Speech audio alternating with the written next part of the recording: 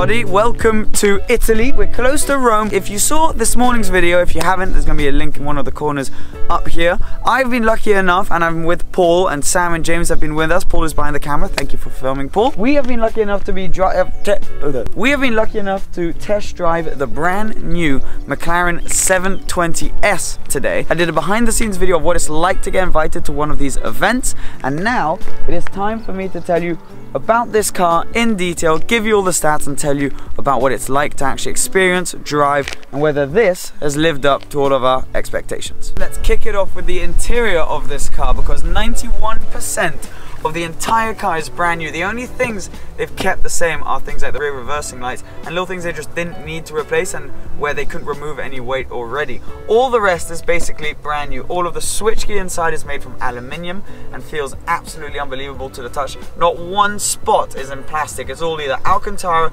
carbon fiber, aluminium or leather. This particular car has the carbon seat. So if I hop in, they're not the easiest thing in the world to get into, but once you're in, they really hold you in nicely. P1 style steering wheel, which is full of Alcantara and carbon fiber, looks absolutely fantastic. These slightly tiny uh, shift paddles, which I'm not a massive fan of, but they do have this rocker system McLarens have always had, which are brilliant for texting whilst you're driving, which are brilliant for just being able to, if you got your hand out the window, you can shift with one hand, it's fantastic. And overall, the inside of this car is just a massive step up compared to old generation McLarens, but mainly any of the com competitor cars. Things like the 488 feels completely outdated because in here you're properly in a spaceship. Some things are familiar, for example the active panel here, ESC off aero button which lifts the rear wing up, as well as all of your track, normal and comfort settings.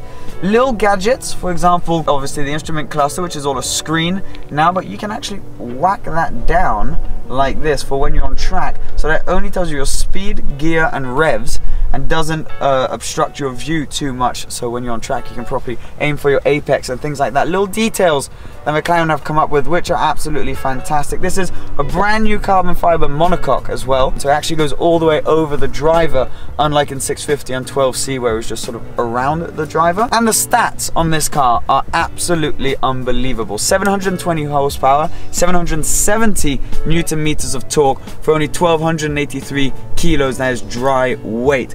That means that this car actually does 2.8 to 60, that's seconds of course, which is just mind-bendingly fast and goes all the way to 212 miles an hour. So we're talking hypercar speed for this thing, but priced at around 220,000 pounds starting price without option. So let's say this is a quarter of a million pound car. That puts this car in supercar price with hypercar performance. I don't usually do full-blown geek out reviews, so I got Paul with me who's going to help me out Hello. today. A few things I also want to talk to you guys about are the specific spec on this car. Obviously, we mentioned the race seats, but this also has the 4,700 and a tiny bit more pound option of the sports exhaust. It's got stealth pack, which means they're black as well. And you know how you can tell it's got a sports exhaust? Because of the little vents. The little vents yeah. on the exhaust pipe. It's also got on this car, this is not spec, this is on all, five, uh, I was about to say 540, 720Ss, all the glass behind us, which yeah. gives you this 360 point of view, just absolutely stunning. You've just been driving this car and you're a bit taller than me, so I'm going to move it forward. Ah, shall we do a loud start? Yes. So let me crack the window. It's got this setting, so if you have ignition on, you press active panel and put track and track it will start the car and give it two big bangs after you start it. So, let's give it a go. Battery 45 days. Very good. oh, that looked better last time. Oh! What is that? Key not found within vehicle. Oh, Loud start. Let's open your window as well. Three, two, one. It's cool that. This being one of my first proper reviews, you're gonna have to help me and tell me about your opinion on this car as well a little bit because me you've been driving it around you, that's you. First things first, let's not muck about.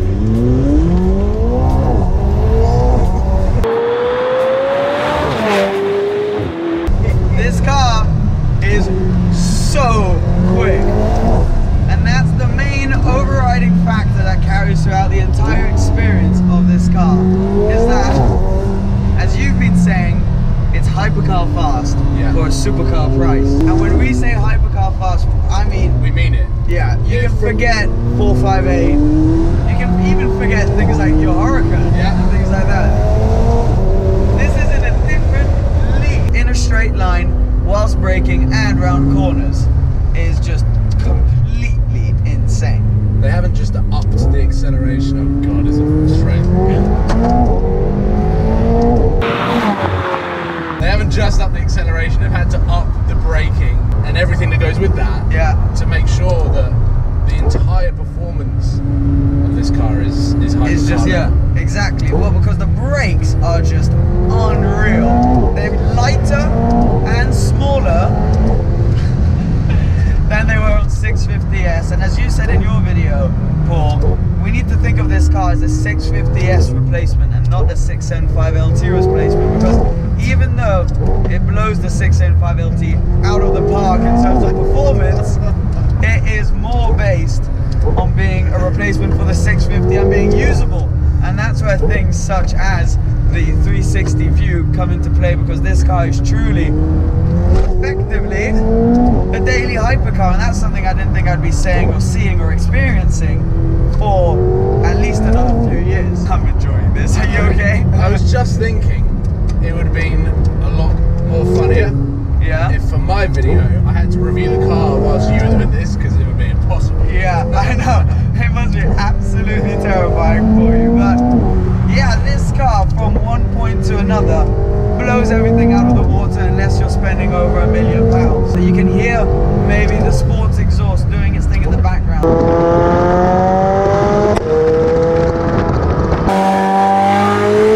Now, when we first got into this car, I have to say we were slightly disappointed. Maybe dis- disappointed is not the right word. Underwhelmed with it Yeah. because the expectations were so high.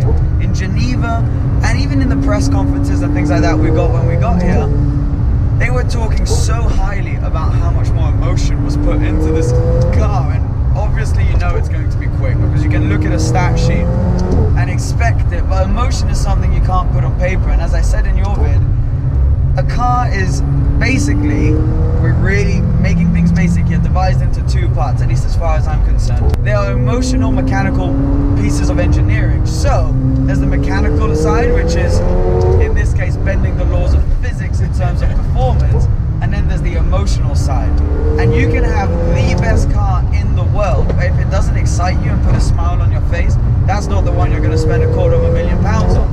So this when we first got into it, we thought was lacking emotion. Now it's been growing on me, I think, a bit more than it's been growing on you, Yes. but it's still not quite there. It's still not, and let's name names, at Aventador S 458 sort of levels of emotion. Whilst it doesn't sound terrible, you do still get cracks on upshifts and downshifts.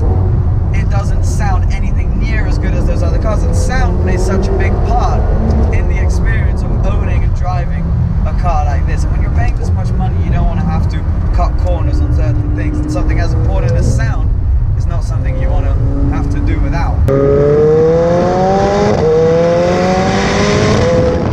You're the exhaust expert, and uh, this car's not sort of pleased you as much as you were hoping in terms of exhaust. what it lacks in sound, Yeah. it makes up for in many other departments. Oh yeah.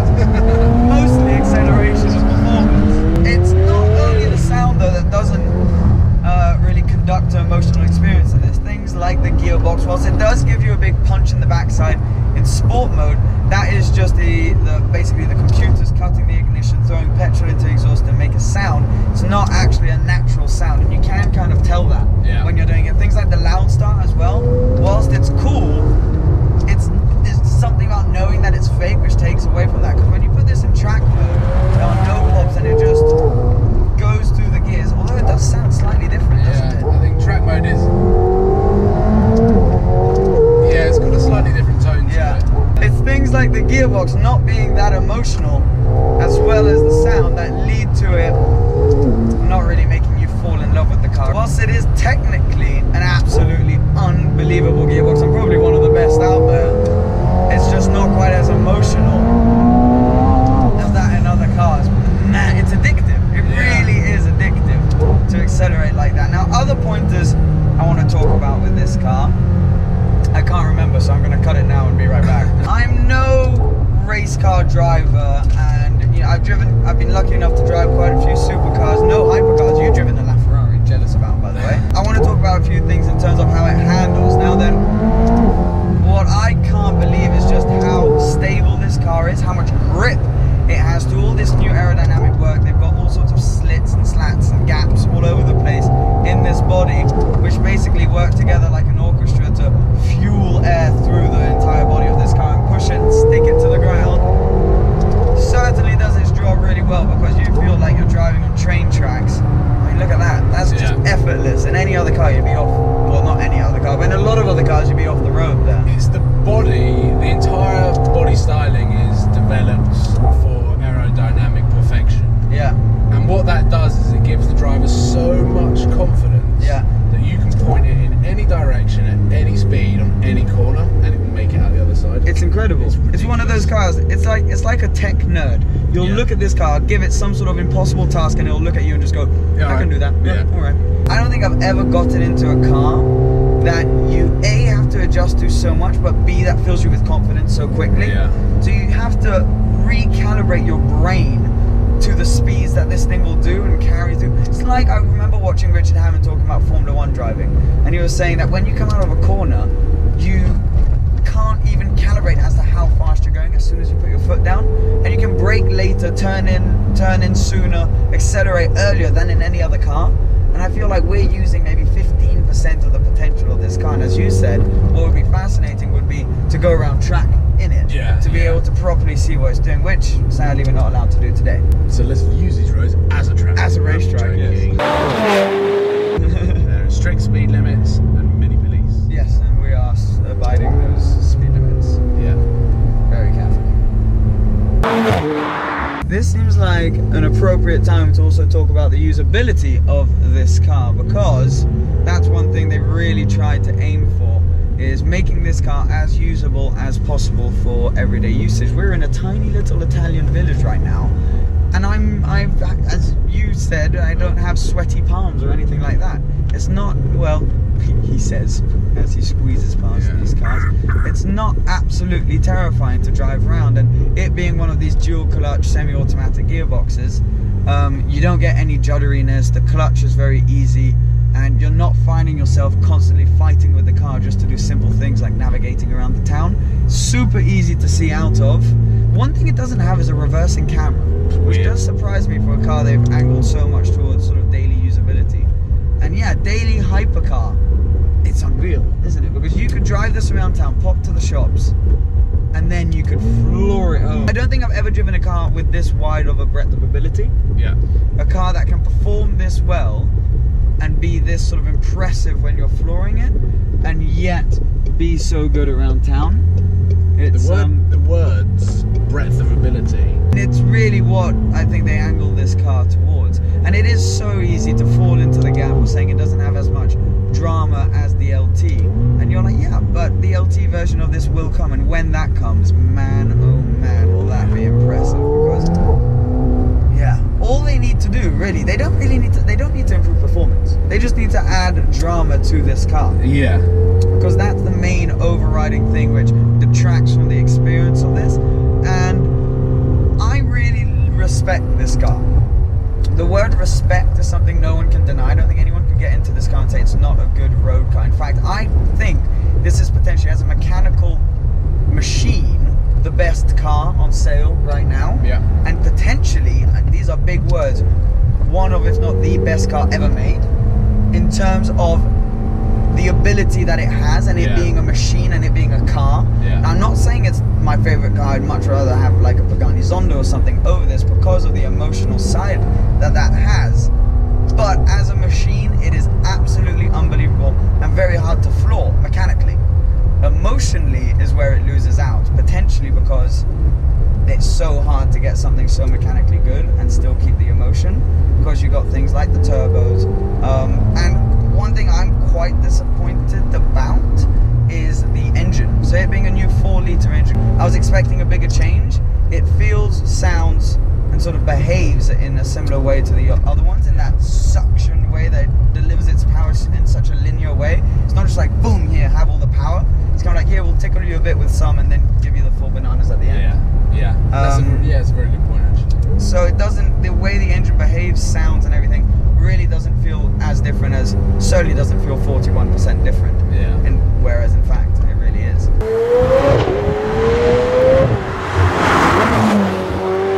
The other thing that you mentioned, which I thought was bang on, about the respect that you have for this car, but you can't quite put it in a category, Yeah. is you were saying that this is the hypercar version of the Nissan GTR. Yeah, yeah, I, and I really do stand by that because a Nissan GTR is one of those cars that everyone respects, and you can't deny it's a brilliant car, and the performance of it is just unbelievable. But it lacks that emotion, Yeah. and it just doesn't have that. It's, It's so an hard. outsider, it doesn't fit in. Yeah, yeah, yeah. It's so hard to put your finger on it. Yeah. Um, you can't describe it. If you know what I'm talking about, you. I guess James May's called it the fizzle, didn't he? Back in Top he? Gear. Yeah, he called He it doesn't get the fizz. He doesn't get the fizz. Um, and this car isn't giving me the fizz. um, and it's something that's so important. And it's and this is effect. You know, this is. You, it, I don't want to compare it anyway because it's so different to a GTR. But it's used the sort of theory and mindset of the GTR and just put it on steroids and stretched it so much further. So it's a total number spec sheet car that just can't be beaten on paper, really, offering this sort of performance for this price. But it doesn't really smile as much as it should for two hundred fifty thousand pounds. I mean, how many orders have they had? There's like, what, 1,200 or 1,400 orders? 1,400 I think orders, the entire year, or the entire 12 months in terms of allocations for 720S is sold out. It's sold out. Because it is They're doing great. a crazily, crazily popular car. Yeah. As it should be. As- I yeah. completely agree. They should sell like hotcakes these things because they deserve to. They are an absolute masterpiece in terms of the engineering. I also think I prefer this. it says almost more about us and what we're looking for in a supercar than uh, than it does about the car. Because if you have loved McLarens in the past, and if you are really into just numbers, performance, and you don't really care about the noise, and you want to get round maybe slightly more discreetly or things like that, and you, you're not a fan of the whole Aventador approach or Yeah, Lamborghini approach, this is the car for you. And I don't think there's any car that will do that better for you. If you want your dream car to be the car that you're driving, knowing that you are going to annihilate anyone in a straight line or around a track, Yeah. this is the car. Exactly. It's it's so hard to describe this experience, isn't it? Because it, with other cars, you either love it, hate it. I I like this car a lot. I really respect it, but there's something missing, and that is, I believe, yeah, I just a very believe where the LT line could come in, and if they add that something to the LT, then that's gonna I be like the what one. you said, like, they don't need to enhance the performance. They don't need They to. no. just need to add drama. Yeah, and they didn't need to even enhance the, The problem is, on, uh, 650 McLaren have never been a manufacturer about drama. Yeah, So if they went down the route of we're going to add drama and they don't deliver it, yeah. then Then they're in trouble. Yeah, it's such an interesting dilemma. But if you were wondering what the McLaren 720S is like to drive and experience, then do you- go for the overtake. no, I'm not going. I'm not going. If you ever get the chance and are lucky enough to drive one of these, or get offered the opportunity to drive one, you really should, because it's an experience like no other. Because you will, there's really not much else that will offer you this sort of acceleration and performance, and it's unbelievable. I hope this has made some sort of sense to you guys about how we're trying to unfold this experience in our head. It's a hard one.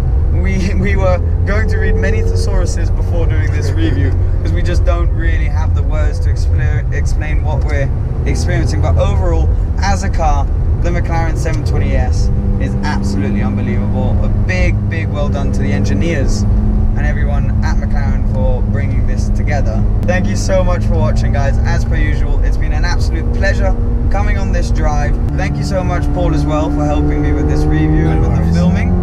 And I'll see you guys again very, very soon. Cheers. Bye bye. Hey. Quick cap Quit capsating, serenading them hoes.